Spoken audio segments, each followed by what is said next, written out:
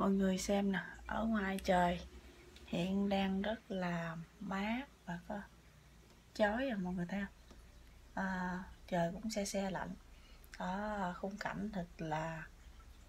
à, yên tĩnh và hơi buồn. Hello, thân mến chào tất cả mọi người. Chào mừng các bạn đã quay lại với kênh channel của mình.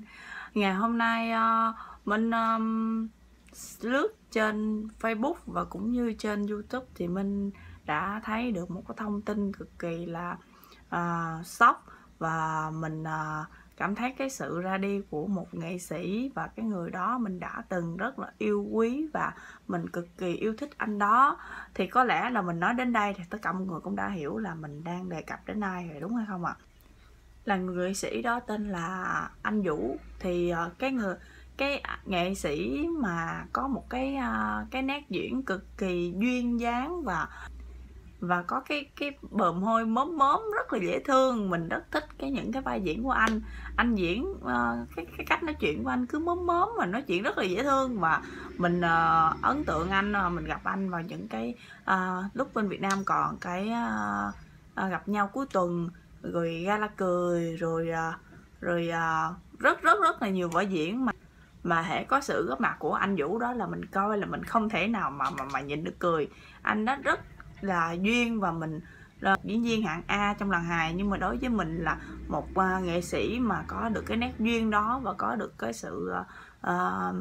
dí dỏm như vậy là cũng uh, rất là hay và mình cảm thấy anh có một cái nét diễn nó cực kỳ tự nhiên cho nên mình rất là thích. Và à, ngày hôm qua thì ờ, mình có xem được tin tức thì mình nghe anh à, mất. Thì mình nghĩ đó là một cái tin báo lá cải một cái tin giật gân để để câu view câu like đối với à, những người họ làm à, internet và họ muốn câu view để họ kéo sự chú ý về cái trang của mình. Nhưng mà sau khi mà minh tìm hiểu được thì rất là nhiều cái trang lớn và những cái cái cái kênh um, tin tức họ đưa về à, cái cái chuyện là anh bị mất và và cái nguyên nhân anh mất do là đi diễn về khuya và tắm do đột tử chết thì mình cảm thấy cực kỳ sốc mà mình không nghĩ là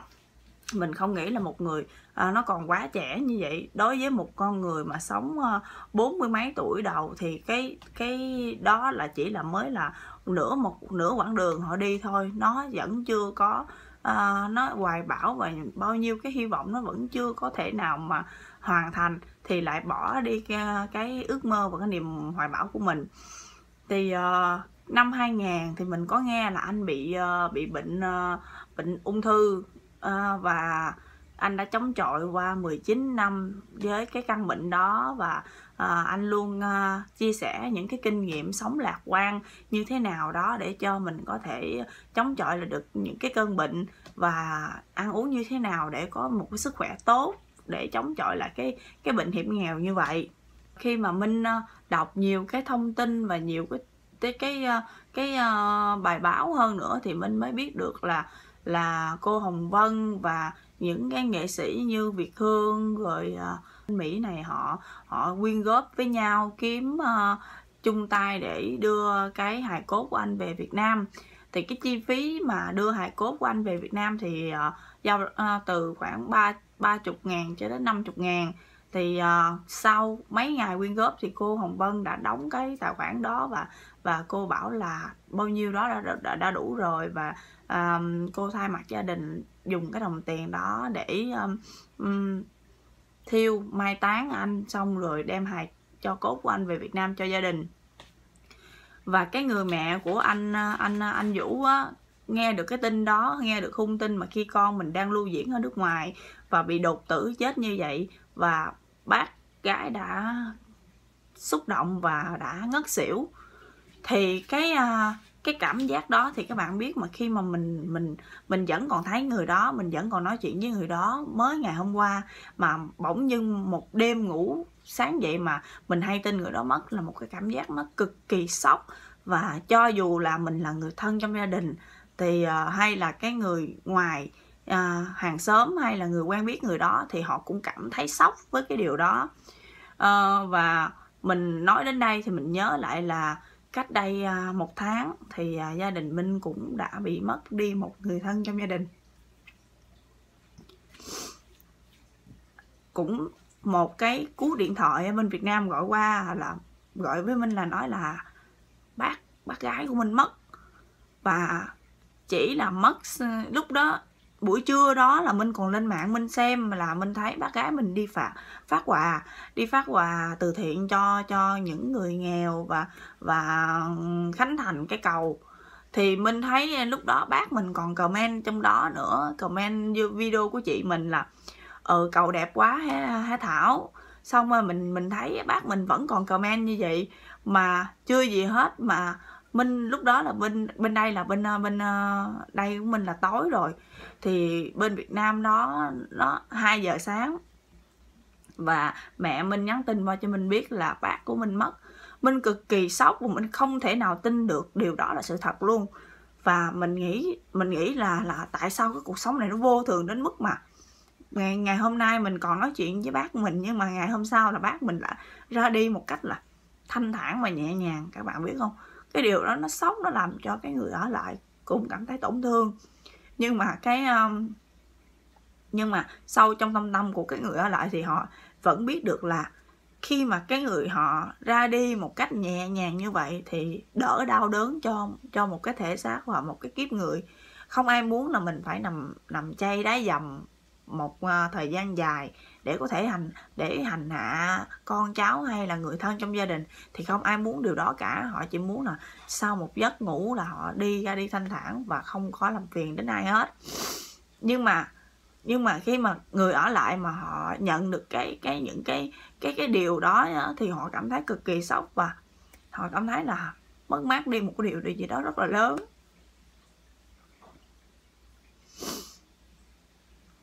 Và minh cũng vậy, minh ở bên việt ở bên mỹ này mà mình nhận được thông tin của của bác của mình đó thì tuy là mình với bác mình không có không có kêu bằng là quá yêu thương quá thân mật với nhau nhưng mà mình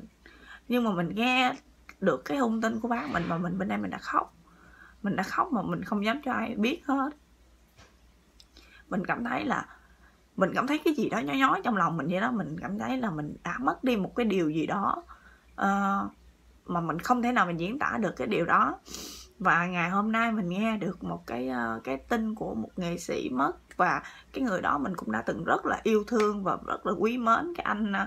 anh anh Vũ. Và những cái ờ, những cái clip hài của anh đó, mình rất thích xem. À, mình mình xem hả hầu như là có thể là xem đi xem lại xem đi xem lại các bạn biết cái thời mà internet chưa có thịnh hành đó, mình xem bằng băng đĩa. Là mình minh đi mua đĩa hài đâu đó, là có hệ hệ đĩa hài nào mà có anh anh vũ là mình đều mua hết. Mình mua vào bắt đầu hả, mình xem mà, các bạn biết không, mình xem đi, xem lại mà mình vẫn cười được. Cho nên hả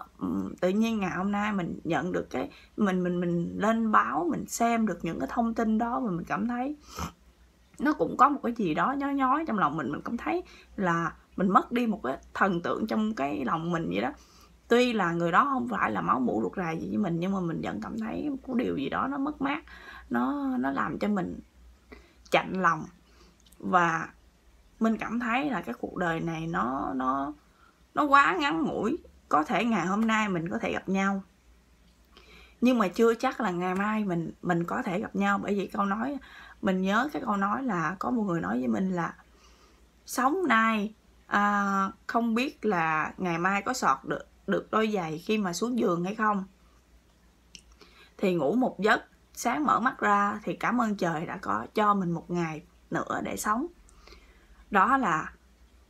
đến thời điểm này thì minh mới cảm nhận được cái câu nói đó nó sâu sắc đến mức nào. Và cái cuộc sống nó ngắn ngủi đến mức nào. Bởi vậy người ta mới nói là trời kêu ai nấy dạ không ai nghĩ là mình sẽ là đi với một cái thời à, một ngày nào đó hay là mình không biết là một ngày nào đó mình sẽ chết cho nên á cái uh, minh từng chứng kiến những cái cảnh mà người thân mất đi một cách đột ngột và những cái điều mà nó làm cho mình không bao giờ ngờ đến. Mình có thể là ngày hôm nay mình mình ờ, mình ờ, còn gặp họ mình còn đấu khẩu với họ đó nhưng mà ngày mai mà họ mất đi rồi mình cũng cảm thấy chạnh lòng dù cho là cái người đó mình không th- không thương không yêu không ưa gì họ nhưng mà khi họ mất mà họ, họ mất một cách đột ngột và mà Ừ, độc tử như vậy thì mình cũng cảm thấy rất rất là chua xót. Mình cảm thấy tiếc cho một cái mảnh đời của một con người mà có thể ra đi và bỏ lại mọi thứ sau lưng. Dù là người đó là mình không thương, không không yêu thiệt, nhưng mà họ còn, mình thương cho những người ở lại, mình thương cho cho vợ họ, cho con họ và những cái ờ, người thân còn ở lại. Và cũng như là cách đây hai tuần thì à, minh có lướt trên facebook và hay được một thông tin là một người à, hàng xóm của minh mà lúc đó minh về đó minh ở thì cái cậu đó rất là dễ thương. Và cái cậu đó hả rất là siêng năng. Nhưng mà sau một cái buổi đi đi lấy hàng từ ở sóc trăng về thì cậu ấy đã bị xe tông chết. Và mình mình thấy được một cái bài đăng là là chị có một người bạn họ đăng là em ra đi thanh thản nhé. À, à, mong được kiếp sau. À, nếu như em có đầu thai thì à, chị cầu cho em có thể là đầu thai trên một cái hình hài một người phụ nữ. Nhưng mà mình đọc cái cái cái cái status của chị đó và và để một cái hình của cậu ấy vô là mình cảm thấy là mình cảm thấy là rất là sửng sốt và rất là bất ngờ mình không hiểu chuyện gì xảy ra mà mình phải định hình trong mấy giây đó. Và khi mình bấm vào comment, bấm vào những cái bình luận của mọi người thì mình mới nhận ra được là cái chị đó trả lời comment của những người đó là cậu ấy đã mất lúc 2 giờ chiều. Khi mà đi từ Sài Gòn, đi từ à, Sóc Trăng đi về tới nhà thì đã bị xe tải tông và cán nát đầu. Mình đọc comment mà mình mình nghĩ, mình nói là mình mong là điều này là một sự đùa giỡn chứ không phải là một sự thật. Vì cậu ấy rất là dễ thương và cậu ấy rất là có hiếu với gia đình. Cậu ấy, hả, đi học, đi làm, không có theo kiểu là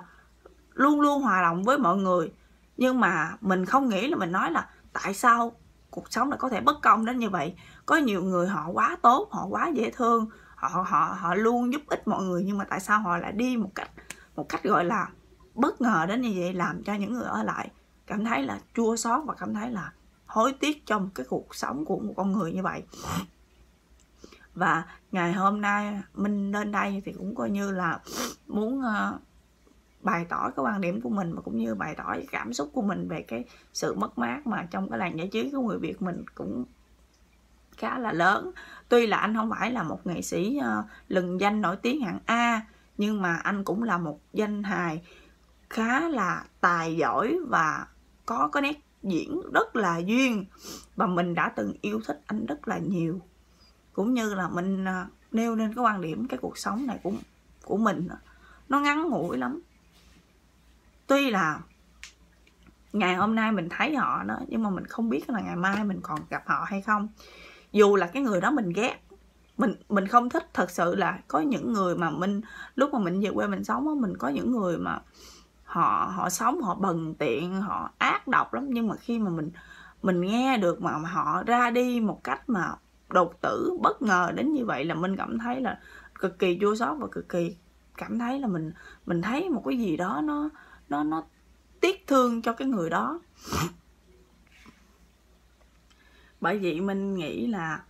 mình hãy sống như thế nào đó, mình cảm thấy mà cái cuộc sống này mình có ích hơn, thay vì mình có thể, mình để dành cái thời gian mà mình đi ghét bỏ người khác, thì hãy, mình hãy để dành cái thời gian mình yêu thương người khác hơn. Biết đâu, ngày hôm nay mình lên giường mình ngủ, nhưng mà chưa chắc ngày mai mình sẽ bước xuống giường mình sọt được cái đôi giày, đôi dép của mình. Và nhiều khi minh hả, càng lớn minh càng nhận thấy được và nhìn nhìn nhìn thấy được nhiều cái hoàn cảnh mà họ ra đi bất chợt. Và những người đó là mình quen biết, mình đã từng yêu thương, mình đã từng quý mến thì mình mới hiểu được cái cảm giác là cuộc sống nó vô thường. Mới hiểu là cái cuộc sống nó vô thường lắm và mình cũng cầu mong như thế nào đó cuộc sống của mình có thể trôi chảy hơn. Và mình mong sao mà mà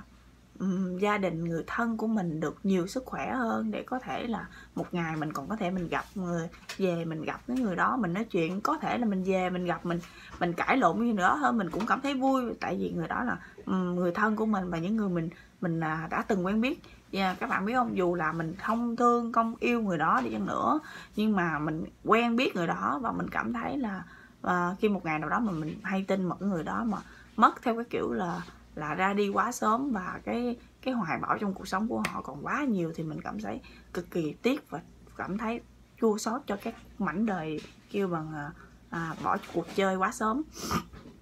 thì uh, chắc có lẽ là một ít uh, thông tin mà uh, chia sẻ và nêu cái quan điểm mà cũng như là uh, bày tỏ cái lòng uh, thương tiếc đối với một cái người nghệ sĩ mà mình đã từng yêu thương và nêu ra một ít quan điểm trong cái cuộc sống mà mình đã từng thấy. Thì khoảng 2 tháng nay thì mình nhận được nhiều cái thông tin những người quen người thân mình chết một cách bất ngờ như vậy mình cũng cảm thấy là uh, cực kỳ tiếc cho những cái mảnh đời đó và ngày hôm nay mình lên đây nhận uh, làm một video muốn là nêu lên quan điểm của mình cũng như là um, à lên đây nêu cái quan điểm của mình và bày tỏ lòng uh, thương xót và cũng như là uh, chia buồn đến gia đình của nghệ sĩ anh Vũ. Và cảm ơn tất cả mọi người đã theo dõi video của mình. À, nếu như các bạn uh, yêu thương kênh của mình thì hãy uh, thả cho mình một like và nhớ đăng ký subscribe ủng hộ kênh mình nha bye bye và hẹn gặp lại vào những video sau.